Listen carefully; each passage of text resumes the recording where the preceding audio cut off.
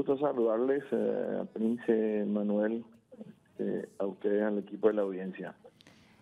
Director, mi consulta primera es, ¿cuál es la posición, si hicieron un análisis de esta propuesta normativa que crea la Dirección Nacional de Ingresos Tributarios? Eh, ¿Tienen algún análisis preliminar que hicieron desde la aduana o todavía no entraron a detallar este proyecto? Bueno, a nosotros nos tomó por sorpresa, hay que ser sincero, no, no pasó, digamos, no es que hubo una consulta a la institución. Eh, al principio y en, digamos, en primera instancia, a primera vista, digamos, eh, parece una idea interesante eh, porque son, digamos, modelos que funcionan en algunos países, pero ahora que estamos mirando con más detenimiento, vemos que desaparecen capítulos completos del código aduanero eh, que tienen que ver con las administraciones, con las funciones propias de la aduana. Y por otro lado, tenemos ahora una avalancha. Yo en la oficina estoy recibiendo una avalancha de agentes del comercio exterior, representantes de, del centro de exportadores, del centro de importadores, representantes de, de despachantes. Hay una gran preocupación eh, porque la mayoría de ellos plantea que va a ser eh, por la, digamos, por la falta de discusión eh, y por no estar bien afinado el tema de algunos temas que son no precisamente recaudatorios, sino más bien vinculados a la facilitación del comercio y otras funciones que tiene la Dirección Nacional de Aduanas que aparentemente no están contempladas, eh, que puede ser un gran cuello de botella. Tuve la visita de referentes importantes. me sorprendí realmente porque hay una preocupación, quieren hacer foro conmigo, eh, este, se están buscando por todos lados este, participar en, las discusiones para que una vez aprobado no sea un cuello de botella.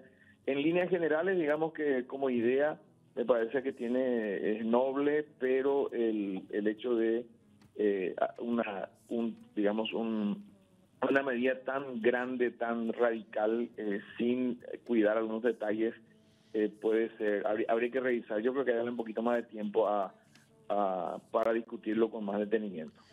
¿Cuáles serían los puntos específicos, Julio, que, que la gente cuestiona o que, o, que ahí la, la, aduana cuestiona? Pero básicamente es que el, el proyecto apunta exclusivamente a, a una visión recaudatoria y como la aduana está, eh, digamos que fusionada dentro de este nuevo proyecto, eh, las aduanas en el mundo van perdiendo fuerza en materia de recaudación con los acuerdos internacionales.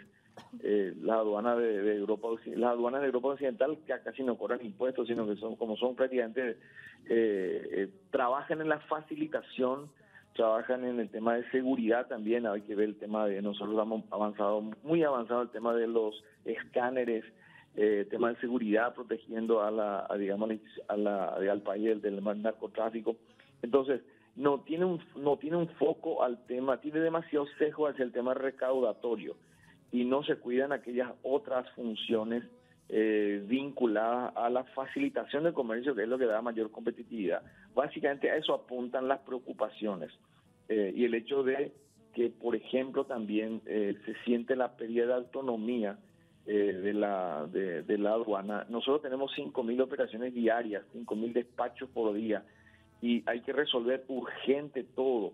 Entonces, eh, al posicionarle en una, eh, digamos, al, al, perder autonomía, los agentes del comercio exterior temen que eso genere serios problemas. Yo en estos días estoy recibiendo cantidad de empresarios que tienen, por dar un ejemplo, hay uno que hace, hace dos años invirtió eh, como 6 millones de dólares y no puede no podía resolver un tema eh, vinculado a, temas legales. Y bueno, nos, a través de la aduana se le gestionó, se le creó una, una se solucionó, digamos, una laguna legal que había.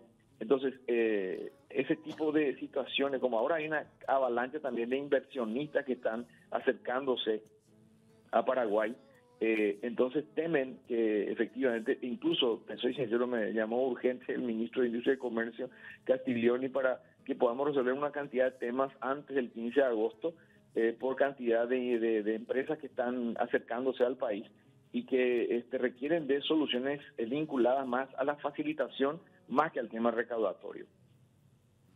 Y llama mm, de alguna manera también la atención, director, que el, concepto del proyecto sea o de la Dirección sea Nacional de Ingresos Tributarios y justamente le decía Manuel, eh, no incluye el concepto de aduanero, arancelario o algo vinculado a la actividad que hace la Dirección Nacional de Aduanas, que obviamente por la naturaleza de la dirección es diferente a la intervención que tiene la Subsecretaría de Estado de Tributación, considerando que es más para cuestión interna y obviamente la DNA se enfoca más al comercio exterior.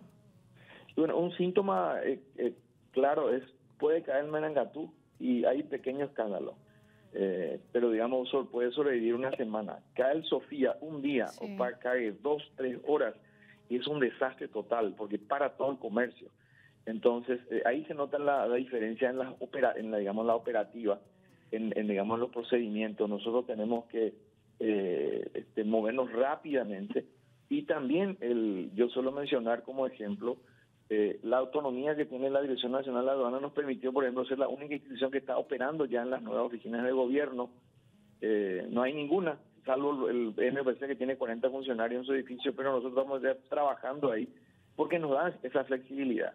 Eh, no pudimos comprar escáneres con apoyo del Congreso, pues tenemos nueve ahora por esa autonomía, esa flexibilidad. Nueve equipos, Uruguay tiene uno.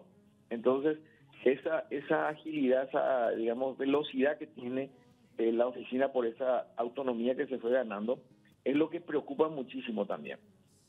Y ese concepto de autonomía, director, cuando hablamos del presupuesto que maneja la Dirección Nacional de Aduanas, ¿de cuánto aproximadamente estamos hablando y también de cuántos funcionarios? Bueno, en total, eh, mil son los que están dentro del plantel, pero son como, somos como 1.500 entre contratos y otras, otros apoyos que tenemos a través del centro despachante.